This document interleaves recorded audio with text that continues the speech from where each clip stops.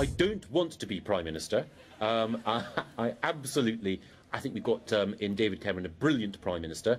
Having seen close up how he does the job, I know that I couldn't do it. You'd rather be Prime Minister yourself? Uh, no.